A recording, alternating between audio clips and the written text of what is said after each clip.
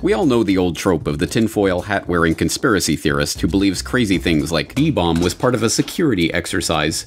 But the terror hysteria of the apartment bombings were used to justify Russian aggression in Chechnya and win public approval for a full scale war. Russian troops entered Chechnya the next month. In 2001, attacks in New York and Washington were blamed on Al Qaeda as a pretext for invading Afghanistan. In the months leading up to the event, American negotiators had warned Afghanistan's Taliban that they were interested in securing right of way for proposed pipeline projects, and the US would achieve this with either a carpet of gold or a carpet of bombs. The Bush administration's first major national security directive, NSPD 9, a full scale battle plan for the invasion of Afghanistan, including command and control, air and ground forces, and logistics, was drafted and sitting on the president's desk to be signed off on September 4, 2001, seven days before the 9 11 attacks. The invasion proceeded as planned in October. Naturally, mainstream commentators have to pretend that false flags and staged terror incidents are ludicrous flights of fancy that have no historical precedent, unless they're talking about one of their enemies, like Russia staging a false flag incident. Then it's perfectly acceptable. Number 4. The CIA ran mind control experiments on unwitting Americans.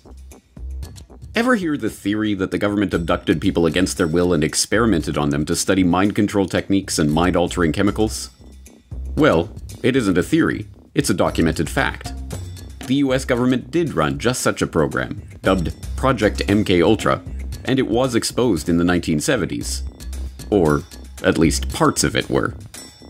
What we don't know about Project MK Ultra and its affiliated subprojects could probably fill several warehouses with books, but what we do know is voluminous and scary enough.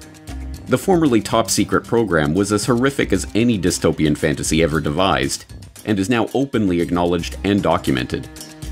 Even the Wikipedia article on the subject admits that the project was completely illegal, employed unwitting test subjects, and attempted to manipulate people's mental states and alter brain functions through the surreptitious administration of drugs, especially LSD and other chemicals, hypnosis, sensory deprivation, isolation, verbal and sexual abuse, and other forms of torture. Some aspects of the MK Ultra nightmare are relatively well known by now, one series of experiments, presided over by Sidney Gottlieb, involved administering LSD to unwitting Americans, including mental patients, prisoners, drug addicts, and prostitutes. This included Operation Midnight Climax, in which unsuspecting men were drugged and lured to CIA safe houses by prostitutes on the CIA payroll. Their sexual activity was monitored behind one way mirrors and used to study the effect of sexual blackmail and the use of mind altering substances in field operations. Another experiment, dubbed MK Ultra Subproject 68, was overseen by the esteemed psychiatrist Dr. Ewen Cameron. This subproject involved Dr. Cameron using LSD, paralytic drugs, electroshock therapy, and drug induced comas to attempt to wipe patients' memories and reprogram their psyche. When brought to light, the program was identified as an attempt to refine methods of medical torture for the purpose of extracting information from unwilling sources, and condemned. Lawsuits regarding the blatantly illegal experimentation conducted by Cameron continue to this day. Yet despite CIA assurances that the program was scrapped in 1973, would the CIA ever lie to us? Documentary evidence continues to emerge that the program was far more extensive and horrific than the public was ever told. But simply pointing to the documented horrors that took place during the officially acknowledged period of the officially acknowledged program's officially acknowledged existence is enough to make even the most stubborn conspiracy deniers squirm in their seats. MK Ultra would mostly be remembered for its drug experiments. I'm going to give you this cup that contains lysergic acid 100 microgram. Will you drink it? That's acid. Acid! Acid! Characterized by hallucinations, illusions, distortions of perception and thinking. John Gittinger, recently retired chief psychologist for the CIA. We could disable a whole city by putting a very small amount in a water supply. Everything from prostitution studies to poisons to top secret weapons like the heart attack gun grabbed headlines with sensational accounts of the CIA's sketchy techniques. Have you brought with you um, some of those devices which would have enabled the CIA to use this poison for, we have indeed, for killing people Good evening. The White House disclosed today that the CIA's drug testing program on unsuspecting Americans had been more expensive than the agency had admitted. CIA secretly funneled money through scores of research foundations, colleges, hospitals, and clinics, including a $375,000 grant through the Geschickter Research Fund here in Washington. The complex and compartmentalized management of such a large project through front groups and with the participation of countless agencies and institutions to carry out secret research, should be a testament to just how sophisticated and shadowy government science had become.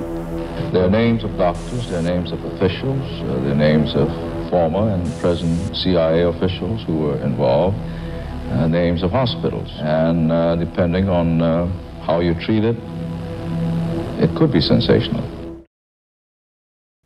Number 5. I don't like them putting chemicals in the water that turn the friggin' frogs female? You've probably seen the memes about it. It's one of the best known and most parodied conspiracy memes of recent years, constantly held up as an example of how utterly deranged and off base online conspiracy theorists are. That turn the friggin' frogs gay! Do you understand that? Turn the friggin' frogs gay! Do you understand that? After all, Everyone knows that chemicals in the water aren't turning the frogs gay, they're turning them female. Reports began to emerge on this phenomenon a decade ago, like this one from Live Science. Pesticide turns male frogs into females, which points out that scientific research is demonstrating that a commonly used pesticide known as atrazine can turn male frogs into females that are successfully able to reproduce. Atrazine, it turns out, is a weed killer used primarily on corn crops and can cause sexual abnormalities in frogs, such as hermaphroditism, having both male and female sex organs. The study from 2010 further discovered that atrazine's effects are long lasting and can influence reproduction in amphibians. The results suggest that atrazine could have potentially harmful effects on populations of amphibians, animals that are already experiencing a global decline. And despite the steady flow of funny memes this observation has generated, this is no laughing matter. As study author Tyrone B. Hayes of the University of California, Berkeley explains, the study suggests that atrazine, which is banned in Europe, could have potentially harmful effects on populations of amphibians, animals that are already experiencing a global decline. Though there's no mention of the frog's sexual preferences, pesticides are admittedly bending the genders of amphibians. And to top it all off, since atrazine interferes with the production of the sex hormone estrogen present in people and frogs, the findings could have implications for humans as well. But it isn't just atrazine. Over the last century, mass manufacturing of plastics and other products have meant that our environment is now awash in chemicals called endocrine disruptors, which, a growing body of research suggests, interferes with sperm production and may impair human fertilization. These chemicals may be one of the reasons that sperm counts are undergoing a dramatic drop in developed countries and other issues with men's health, including testicular cancer, undescended testes, and low sperm count. That's actually a pretty big deal. But I guess if you want to make trendy hipsters laugh, just tell them these completely admitted scientific facts about the pesticide that are wreaking untold havoc on our environment, and then do your best impression of a loudmouth Texan ranting about gay frogs. You'll have your friends in stitches. Just don't say it's a theory. In conclusion, in truth, there are many more examples of conspiracy theories that turned out to be true. From the US government knowingly injecting poor black sharecroppers with syphilis, to the CIA heart attack gun, to the anonymous letter that the FBI wrote to Martin Luther King urging him to kill himself. So, what other not so theoretical conspiracy theories do you know of? Let us know in the comments below. There has never been a conspiracy in this country.